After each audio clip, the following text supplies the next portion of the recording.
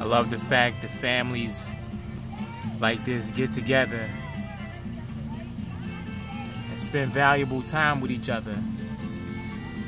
Also, their children are exposed to nature and a different aspect of life.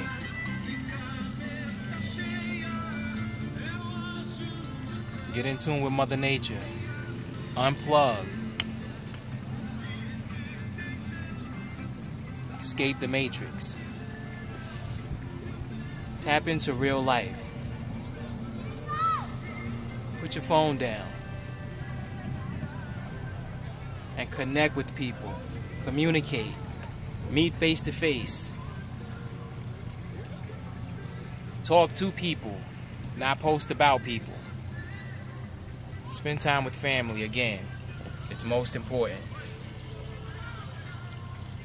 Much love, light, positive energy to all. Peace.